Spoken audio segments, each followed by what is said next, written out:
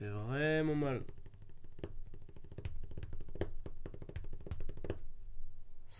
Putain. C'est infâme à écouter, y a pas d'émotion. Bah ouais, je suis en train de train, ouais, je t'ai mis perma. Fils de pute. Parce que, en fait, le passage, il fait ça.